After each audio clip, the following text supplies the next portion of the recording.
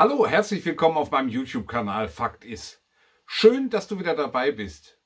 Auch heute beschäftigen wir uns erneut mit der Erwerbsminderungsrente, einem Thema, von dem viele von euch betroffen sind oder vermutlich sein werden. Denn jedes Jahr stellen in Deutschland rund 350.000 Menschen einen Antrag auf Erwerbsminderungsrente. Doch nicht jeder bekommt sie auch, denn vorher müssen eine Reihe von Hürden überwunden werden. Wenn du länger krank bist und nicht mehr arbeiten kannst, spielt die Erwerbsminderungsrente eine große Rolle für deine finanzielle Absicherung.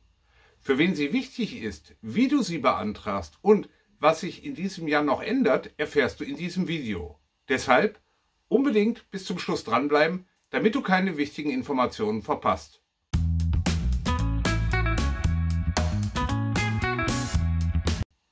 Und steigen wir direkt ins Thema ein. Erwerbsminderungsrente.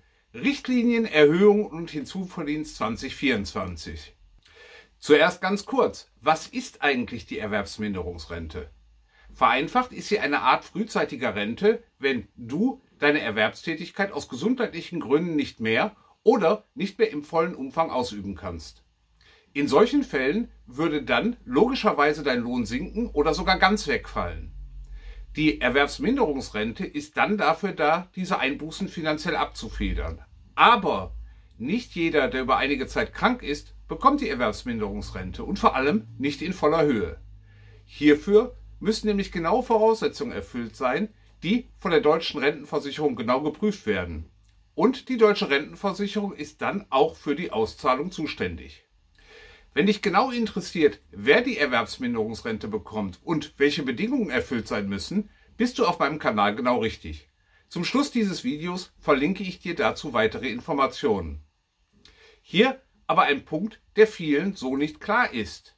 Für viele Selbstständige kommt die gesetzliche Erwerbsminderungsrente erst gar nicht in Frage, denn sie müssen, von einigen wenigen Berufen abgesehen, nicht in die Rentenversicherung einzahlen und haben deshalb auch keinen Anspruch auf die gesetzliche Erwerbsminderungsrente.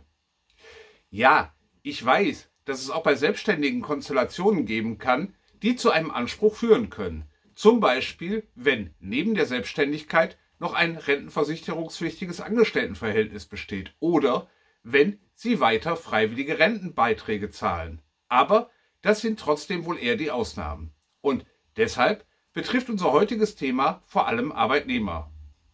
Eine Kernfrage ist immer, wie hoch ist die Erwerbsminderungsrente und wie wird sie berechnet? Nun ja, eine pauschale Summe oder Höhe gibt es hier nicht. Die Erwerbsminderungsrente fällt immer individuell aus und ist im Wesentlichen von drei Faktoren abhängig, die miteinander multipliziert werden. Zum einen geht es um die Höhe und die Jahre der Einzahlung in die Rentenversicherung. Dafür vergibt die deutsche Rentenversicherung dann Punkte. Wenn du zum Beispiel 80 Prozent des Durchschnittsverdienstes im Jahr erreicht hast, würdest du 0,8 Punkte bekommen. Der zweite Punkt betrifft die Art der Erwerbsminderung. Hier wird der sogenannte Rentenfaktor bestimmt. Einfach ausgedrückt, bei einer vollen Erwerbsminderung beträgt der Rentenfaktor 1,0. Bist du teilweise erwerbsgemindert, reduziert er sich entsprechend auf 0,5. Und schließlich geht es dann noch um den Rentenwert, der jährlich festgelegt wird.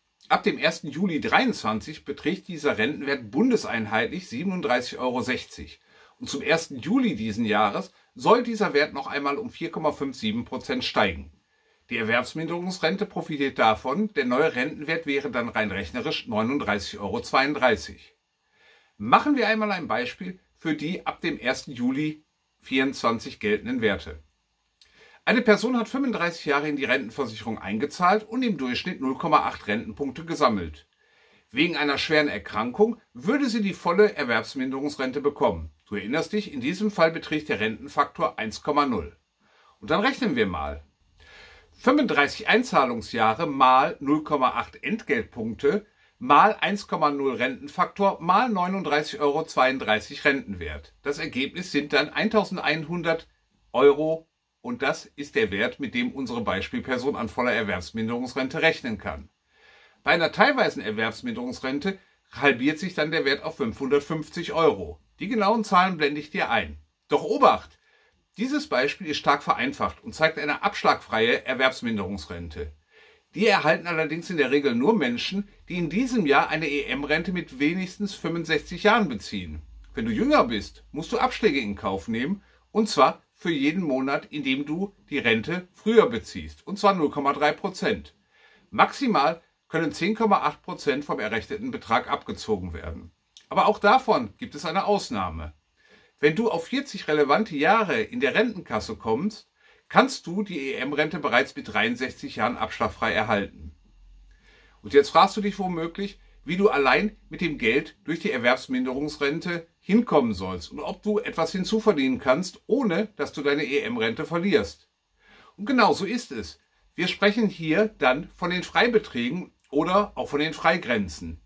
Diese sind bei der teilweisen EM-Rente naturgemäß höher und betragen für 2024 mindestens 37.117,50 Euro. Bei der vollen Erwerbsminderungsrente gilt ein Wert von 18.558,75. Und eine weitere Änderung tritt zum 1. Juli in Kraft. Viele Empfänger von EM-Renten sollen einen pauschalen Zuschlag erhalten. Das betrifft alle diejenigen, die zwischen dem 1. Januar 2001 und dem 31. Dezember 2018 erstmals eine Erwerbsminderungsrente erhalten haben. Dabei gilt dann folgende gestaffelte Regelung. Betroffene, die zwischen dem 1. Januar 2001 und dem 30. Juli 2014 die Erwerbsminderungsrente zum ersten Mal erhalten haben, bekommen einen Zuschlag von 7,5 Prozent. Diejenigen, die zwischen dem 1. Juli 2014 und dem 31. Dezember 2018 erstmals die EM-Rente erhalten haben, können mit einem Zuschlag von 4,5 Prozent rechnen.